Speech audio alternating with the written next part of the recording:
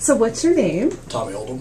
Tommy, and what brought you into Woody's today? Oh, well, you do Dodge trucks, and I've been over here before, talked to him, and I finally found the one that I wanted, and Great. came back and talked to Jeff again. So, Awesome. And where are you from? Marceline, Okay, so hour, hour and a half away? yeah, hour. Okay.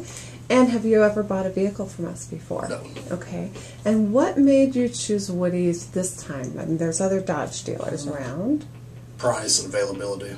Good. He had plenty of plenty of trucks to pick from, and choose. So, Okay, cool. Now, did you have a trade? no, Okay. And you mentioned Jeff. Jeff was your sales advisor. Uh-huh. Now tell us, how did Jeff do for you? very good. He, he was very courteous, and he he called and told me of my options, and he tried to do everything he could for the best deal, and Think he got me a very good deal. So I was very pleased. Awesome. And uh, what did you think about our overall sales process here at Woody's? Excellent. Good.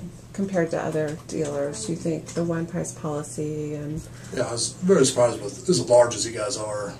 Everybody's very friendly and courteous, and you don't you don't feel pressured or I guess not welcome. Maybe I, a lot of times you walk in a big dealership and you can stand there without anybody acknowledging you. So right, right.